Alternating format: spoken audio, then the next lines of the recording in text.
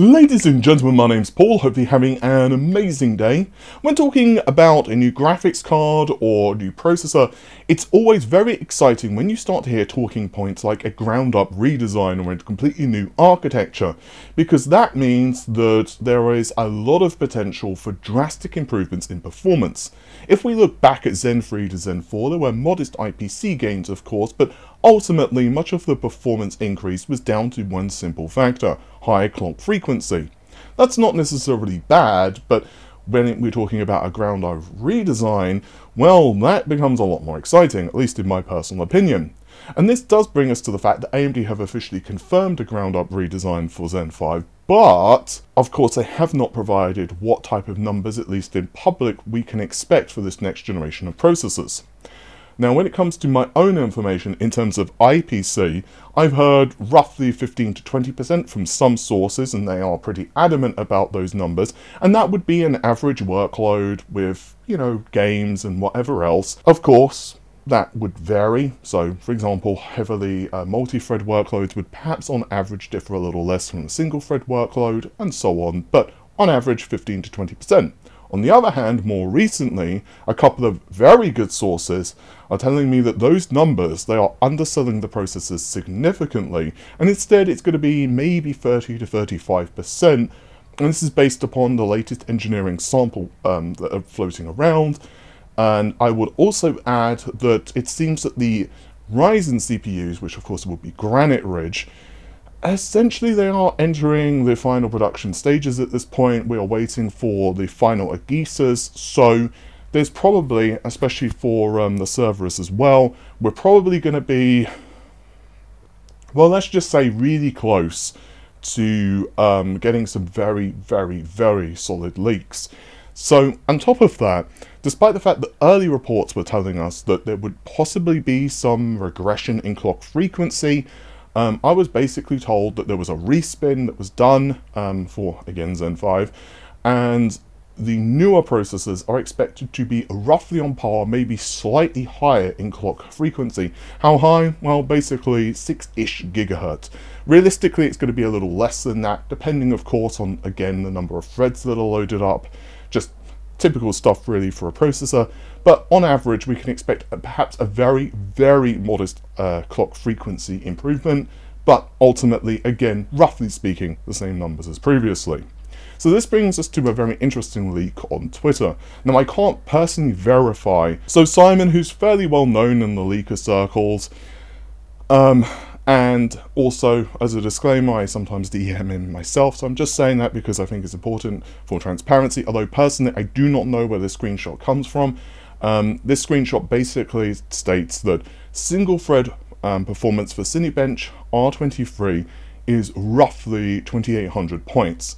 Now, this seems to be inclusive of IPC and maybe clock frequency gain, and because we don't know the part, so for example, it could be a Turing processor which could maybe boost a little bit higher than its predecessor, um, not least of which because it's got extra wattage, um, then you do need to take that into consideration. So it probably doesn't mean that we're looking at a 40-ish percent IPC bump. However, again, if you look at the numbers that uh, are being reported here, who honestly knows?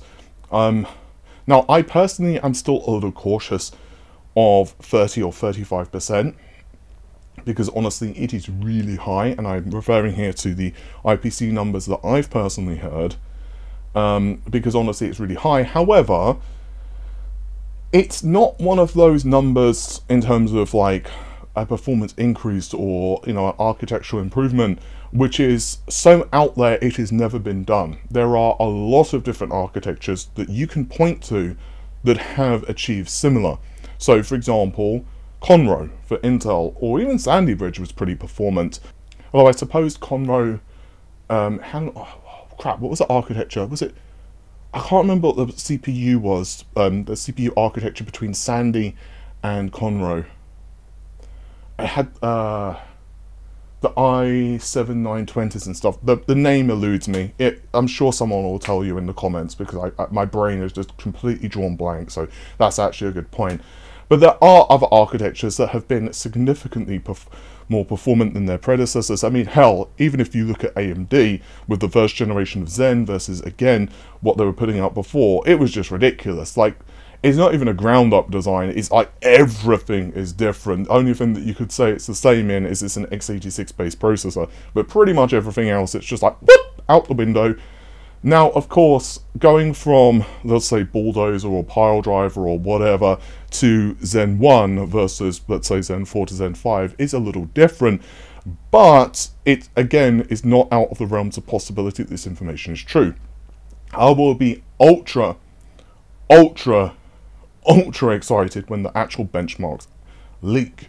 Because if these numbers are true, it would be, I wouldn't say impossible for Intel to compete, because ultimately, you know, there are a lot of factors, of course, in play. Um, we know that the next generation of Intel processors, yes, they will do away with um, uh, hyperthreading. However, the um, you know, it, it's not like they're terrible. They do have a decent IPC gain themselves, and I'm hearing that the clock frequency is actually better than predicted as well.